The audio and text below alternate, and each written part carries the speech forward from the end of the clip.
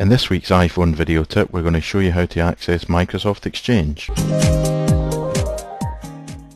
Click on Settings. Click on General. Go to Passcode Lock.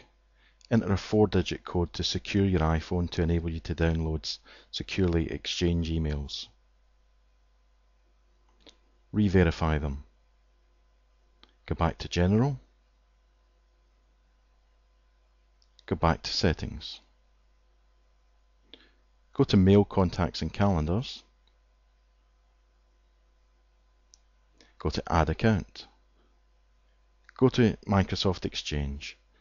Add your email username and password, was supplied by your IT department. To access the backslash, you have to press the 123 button followed by the hash plus equals button. Having entered your details, click Next Exchange verifies the account. Switch on that we want to synchronize calendars as well and hit save. Synchronize the details now. Go back to settings. Press the home button and let's check our email account.